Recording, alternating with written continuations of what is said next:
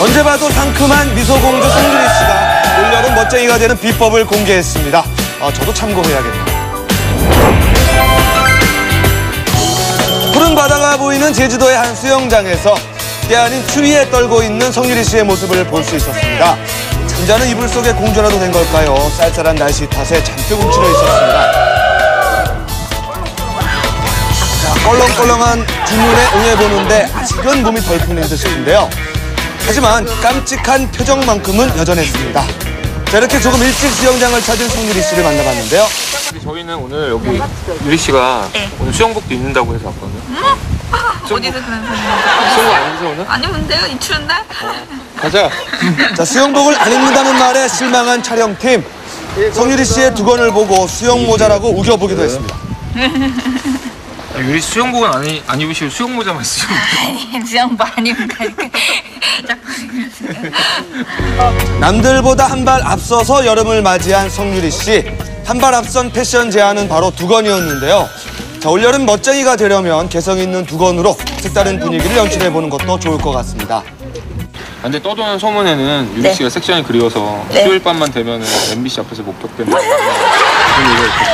아, 네, 제가 섹션 그만두고 나서 잘 돌아가고 있나 걱정도 되고 너무너무 잘 돌아간다고 그러길래 좀 서운하더라고요. 자, 송유리 씨 이번에는 한층 더 멋스러워 보이는데요. 센스 있는 패션 리더의 필수품 바로 시원한 모자 때문이었습니다. 자, 하지만 이런 패션 센스보다 더욱 돋보이는 송유리 씨의 매력 언제나 소녀 같은 모습이 아닐까 싶은데요. 이렇게 소녀 같은 걸 계속 유지하는 비결은 저요? 예. 늘 소녀같이 생각하는 거죠. 그렇습니다. 저는 인정을 하는데요. 이분이 인정을 안 하나 봅니다. 용마야 씨 지금 욕하고 있죠? 용만이 아저씨 보고 싶 보고 싶지 않아요? 아, 너무 보고 싶어요. CF도 찍으셨더라고요. 너무 많이 보시더라고요. 자, 밝고 유쾌한 웃음소리만큼이나 시원한 바다와 그림처럼 잘 어울리는 송유리 씨. 마지막 패션 제안은 톡톡 튀는 악세사리입니다. 자, 이 정도면 올여름 최고의 멋쟁이가 될 수 있을 것 같습니다. 요새 또 드라마 계속 찍고 그러셔가지고 네. 체력이 또 많이 약해졌다고 들었어요. 네, 거의 뭐 요즘은 링겔 맞으면서 어. 투병 생활하고 있어요. 그 물 마시면서. 그 고로세모의 효과를 좀 보고 있어요.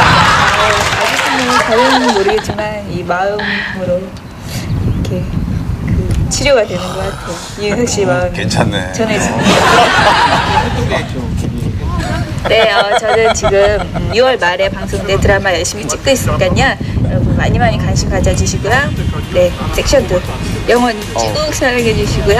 네, 좋은 건강하시고 안녕히 계세요. 마지막 인사까지 나와요. 네, 송유리 씨 드라마 기대하는